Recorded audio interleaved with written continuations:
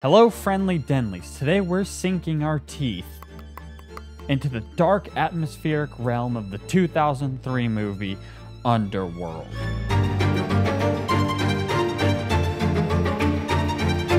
Underworld is a movie that broke into the werewolf vampire genre and was directed by Len Wiseman. Len Wiseman movie displays the harsh, centuries-long war between the vampires and the werewolves, also known as lycans. For some reason in this world, they're called lycans. I guess that's like a throwback to the mythological times of werewolves being lycans and lycans being werewolves. Either way, they're interchangeable, but I'll be sticking with lycans for this video. It features an intense and memorable performance by Kate Beckinsale as Selene, the vampire death dealer, which is a vampire that works works to eradicate the Lycan from the world.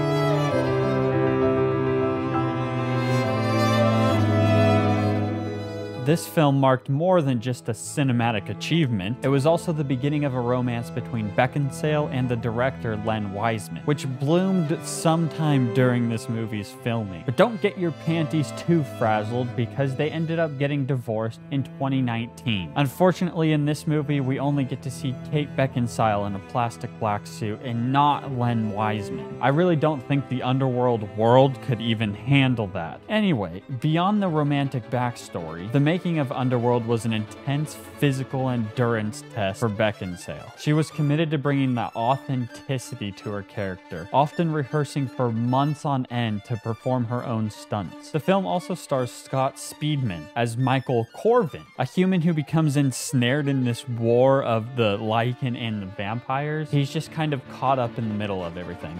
Stop the car! Back off! Okay. We also have Michael Sheen, who is the Lycan leader Lucian, and Bill Nighy as the powerful vampire elder Viktor. You might remember Bill Nighy as Davy Jones in the Pirates of the Caribbean movies, or maybe Michael Sheen as not being related to uh, Charlie Sheen, or maybe you remember Scott Speedman for his uh, his role in this movie. Whatever the case, these actors are memorable in their own rights. The script was co-written by Danny McBride. Unfortunately, it's not that Danny McBride, it's this one but this one introduced a fresh perspective on these iconic supernatural creatures and was instrumental in shaping the film's narrative. This Danny McBride, similar to vampires, is an immortal replica of a similar famous name.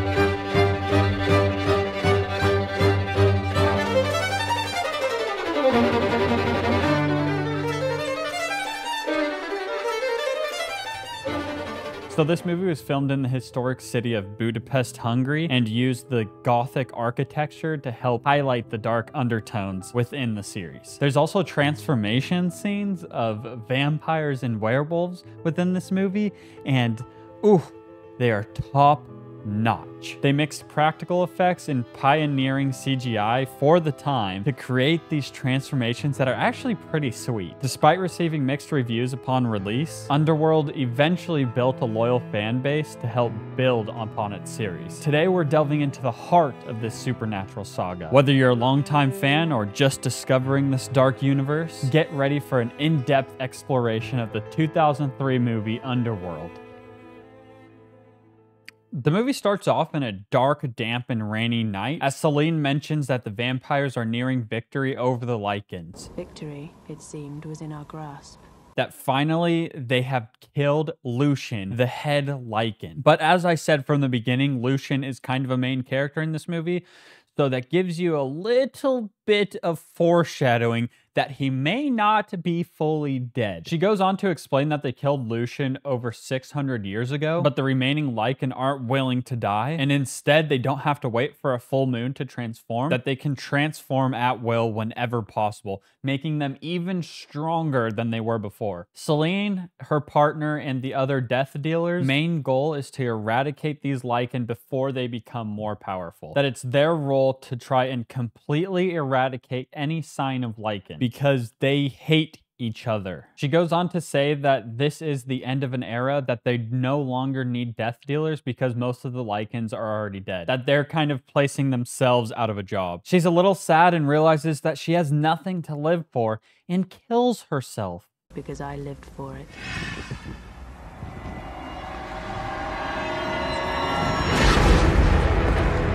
Just kidding, she's a vampire. People are following other people who are following a dude, which eventually leads them all down to the subway. One of the guys, who's a Lycan, knows absolutely no personal boundaries, and then I'm assuming just like poops his pants with guns.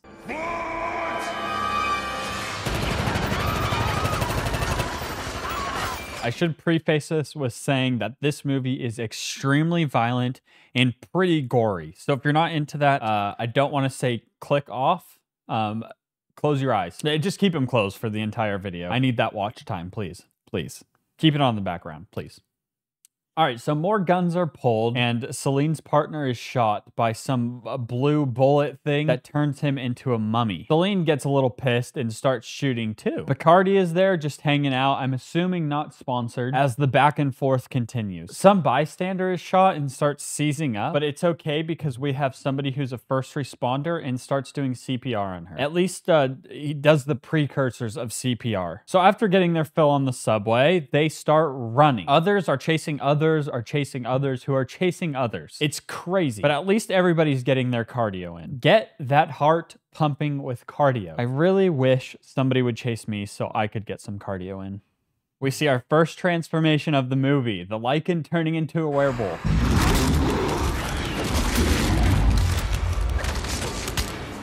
Which is actually, it's pretty good, I think, for 2003. Kind of top notch. I'm impressed.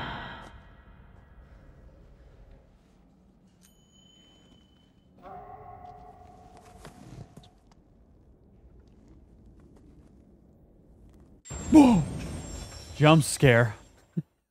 It's not that spooky. Anyway, Selene sees a blood trail and decides to follow it. She drops down like a boss and does a Matrix style sixth sense move that allows her to dodge bullets and take out this Lycan.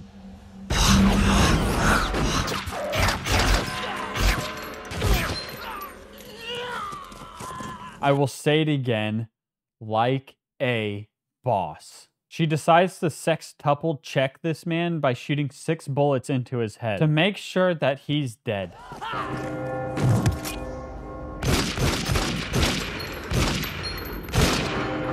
Something tells me that she holds a grudge with these Lycan. Almost like they killed her family or something. I hope they didn't do that. She finds that the Lycans were using these weird new bullets that glow blue. She has no idea what they are, but uh, just keep it in mind for later because they come back up. Anyway, she's chased by a Lycan who she deals with by throwing ninja stars at it. Freaking ninja stars at it. It then cuts to two Lycan who have transformed and are fighting each other. It looks like they're just messing around, like placing bets and stuff, having a grand old time. But then the leader of the Lycan, who I- I'm just gonna tell you, it's Lucian, okay? Lucian is alive and this is Lucian. He tells them that they can't be messing around if they want to defeat the vampires. That if they expect to survive during this war, they have to be obedient. They have to be determined. They have to persevere. Pierce! Taylor! Put some clothes on, will you? Yeah, seriously, put some clothes on. You can literally see their freaking pubes.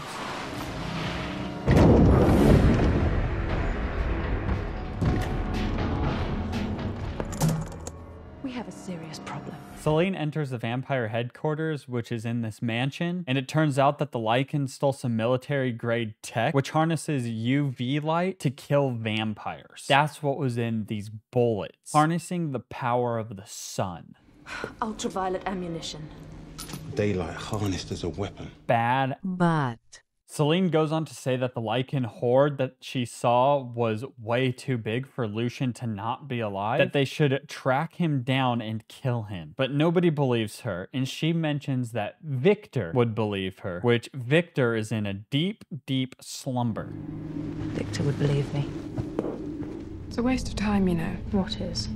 Well, I seriously doubt Viktor'd want you freezing to death in here, staring at his tomb for hours on end. We get to see a little bit of him later on. So this is Erika, and she's just there to kind of ground Selene. She's a little bit jealous that Kraven wants Selene, and Erika just really wants Kraven. Selene gets distracted by trying to figure out who this guy is as Erika comes back in to try to get her ready for this party. Selene zooms and enhances until she figures out who the Lycan were after. Some very attractive human.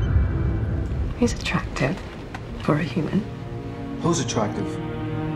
Kraven comes in to try and get Selene out to the party, and Selene says he should just bring Erika instead because Erika really likes him. Kraven says that he wants Selene as a date and to get ready for the party because it is time. But Selene is too caught up in being immortal and trying to figure out who this guy is, who the Lycans are, and why they're after him. Is Selene Batman? No. She's just a very good detective vampire, as far as we know. We are brought into the evil lair of some scientist who's trying to do something with Lycan blood. He has a mental map that he's trying to figure out something, and he's also taking blood from humans who are tied up. I don't know what he's doing, but I don't like it. I'm just here to figure out if he's making any progress. Any progress? Let's find out. Negative.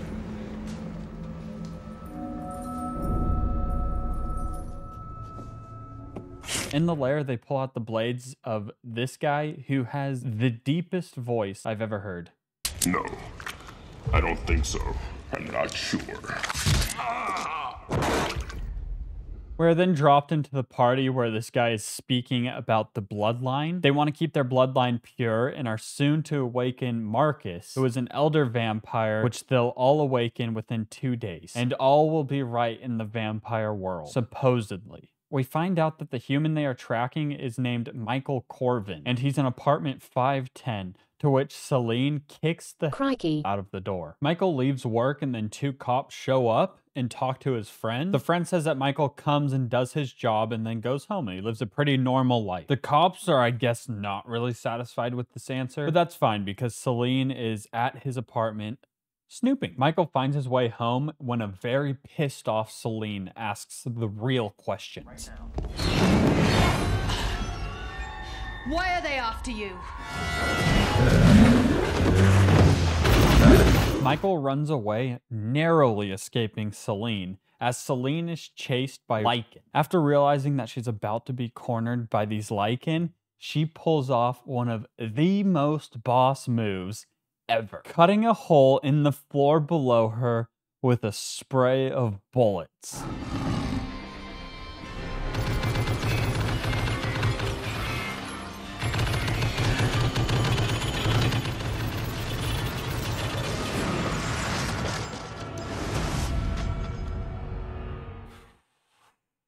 Come on. Michael goes down on the elevator, but is quickly interrupted by Lucian, who gives him a nice little nibble and replenishes his health by grotesquely pushing out the bullets from underneath his skin. I said this movie was kind of gory. Just prepare for more.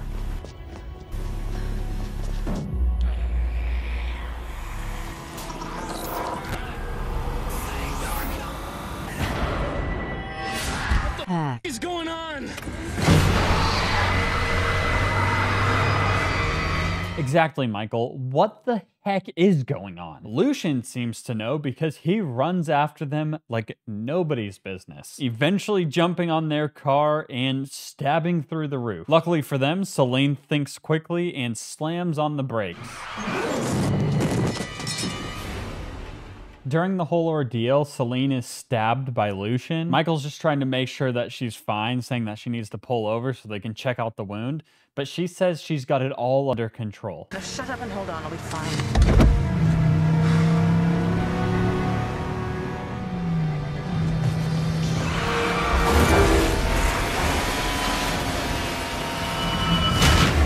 Spinning out, flipping, and falling into the water shows me that she did not have it fully under control. Michael thinks quick by shooting out the windows and pulling Selene up to the surface. He performs some life saving CPR, and she comes back from the uh, dead from the alive, from the undead. I don't know what vampires are. Are they dead? Are they alive? She's undead, I guess. Immortal, eternal, semantics. Can't live with them. Can't live with without them.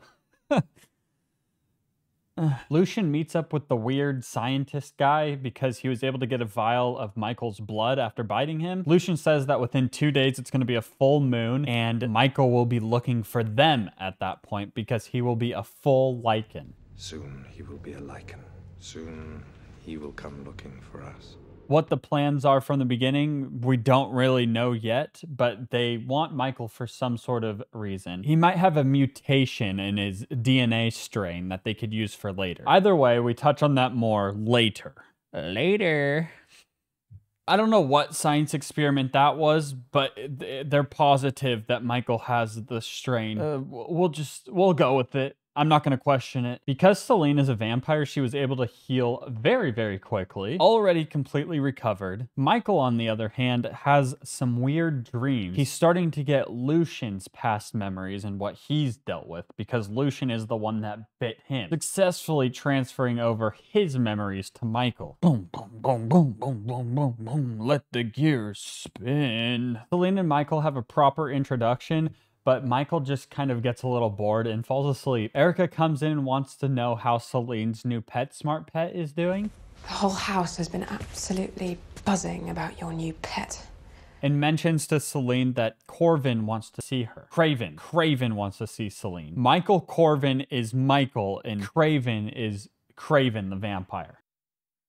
Okay. Hopefully my labels are right. Kraven's dropping his balls in the situation by telling Selene that she shouldn't have brought in Michael to the house. That while Viktor, the elder vampire, is gone, Kraven's the one that's ruling the place. Selene kind of calls him out on his power trip and they part ways for a second as we get back to Erika. Erika notices the Lycan bite on Michael's neck and becomes a cat and jumps onto the ceiling.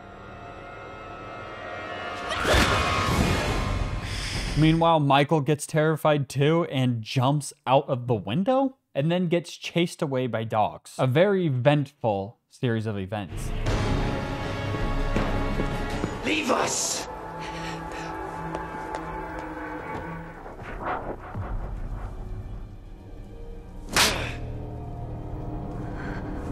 I don't think you can do that, Kraven. That's kind of frowned upon here. Selene heads to the firing range as another friend comes up to her and shows her a new gun with a different magazine in it. These rounds have silver nitrate in them, making it ooze silver, which can successfully kill Lycan by going straight to the bloodstream. Genius. All right, so this is a little convoluted, but I'm going to try to break it down easily. Lucian was supposed to be killed by Kraven. Selene believes that Kraven didn't actually kill Lucian and that Lucian is still alive. Either way, the elder vampire Viktor believed that Kraven killed Lucian, and that's all that matters. But Selene doesn't buy it. She thinks that Lucian is out running, which, come on, he is. We already know. Just put that in your well, if I had a pocket, just put that in your pocket. Kraven and Lucian meet in the back of a car, and Kraven tells Lucian that he was supposed to be laying low, that what the heck was he doing trying to go after this human? Lucian grabs him by the throat and tells him that he shouldn't worry about the human. That's not his concern. The human doesn't concern you. Besides, I've laid low for quite long enough. Lucian puts Kraven in his place by saying that he already bled for him once. Lucian gave Kraven immortality. Without me, you'd have nothing. You'd be nothing.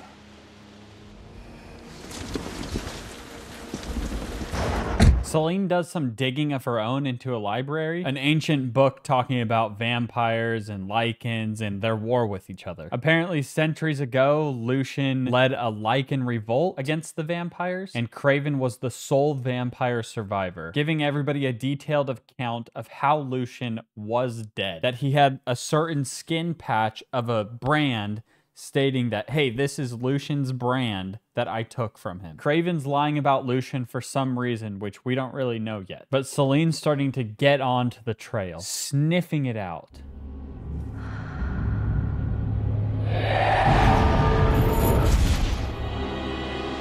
Michael meets his coworker slash friend at the hospital and explains the situation to him. He's very impatient and short tempered, and his friend really isn't having anything to do with it. Okay, so a full grown man bit you. Jesus. He was after me. And that woman, the woman from the subway. What woman? Haven't you been listening to me? She took me All right. hostage. All right, all right. He just wants to be treated with respect. Come on, Michael. I'm gonna help you get this all sorted out, all right? I'll be right back. Let go, Michael. Let go. Just calm down, okay? I'm gonna be back in a minute. That's a promise. All right. All right? So that promise does come to fruition, but not as expected. He comes back with two cops, and Michael mm. busts out.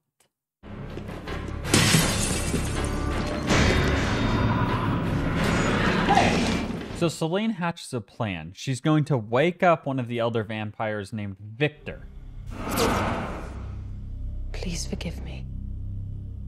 But I desperately need your guidance. But in doing so, she's kind of breaking the code of vampires because she isn't eligible to actually awaken them. That's reserved for special vampires, which she's not. She decides that she doesn't really care anyway and bites her arm to make herself bleed. The blood drips down into Viktor's shrunken, shriveled body, into his mouth, down his throat, and makes his heart beat. Because she's using her blood, she's also transferring all of her memories that she has to Viktor. So she hopes that this will kind of help her case, that Viktor can see where she was coming from, awakening him early. Please forgive me. But I desperately need your guidance. I apologize for breaking the chain and awakening you ahead of schedule, but I fear we may all be in grave danger, especially you, my lord, if left in your weakened state. I believe that Lucian is alive and well, here, now, in this very city, preparing to hit us during the awakening ceremony. Even more disturbing is that if I'm correct, it would mean that Kraven is in league with him.